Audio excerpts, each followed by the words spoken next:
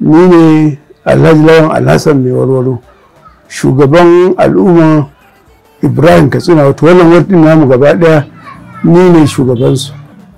Kuma wannan yaro abubakar mai akwala ɗaya daga cikin 'ya'yanmu ne na wannan unguwa wanda allah ya albarkance su da san jama'a da ƙoƙarin taimakawa jama'a da kuma kasancewa da jama'a a kowane lokaci. Wannan yaro muna sa mushi albarka a kullum saboda ƙoƙari da kuma dagewa da ya yi a kan ceto samarinmu da 'yan matanmu da zawarawanmu da gwagwaranmu daga zaman banza. Ba ni kadai ba kowane lokaci a wance muna mishi addu'a. Wannan baiwa da allah ya mishi allah ya kara mishi.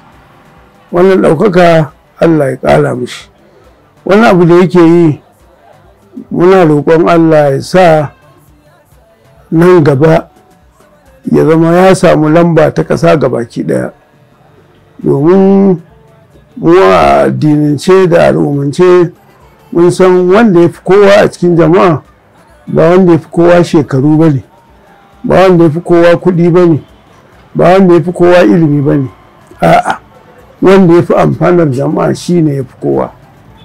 To wannan yaro namu abubakar garba mai akwala yaro ne da allah ya albarkance shi a cikin al'ummarsa.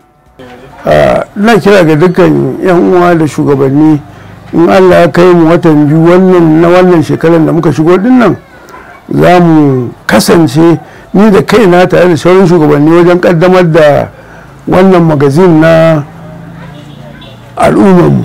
Don ba za mu ce na abubakar garba mai akwala shi kaɗai ba domin shi yana yi amma mu ne da credit din domin mu ne muka haife shi mu ne ko muka sa shi a gaba. Yanzu mu yake cirewa a kunya yake ƙara ɗaukaka sunanmu da darajarmu. To saboda haka muna roƙon dukkan al'umma mu kasance a wurin. Domin kasance mu a wurin zai nuna shi ne irin goyon da muke goyon bayan da muke bashi to wannan abu da yake kuwa na nesa ma suna zuwa su bashi goyon baya. Ballantana mu da yake yi don mu.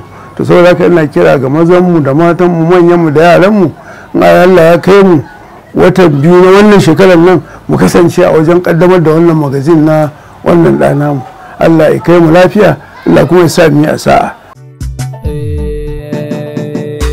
garkuwa cikin al'umma.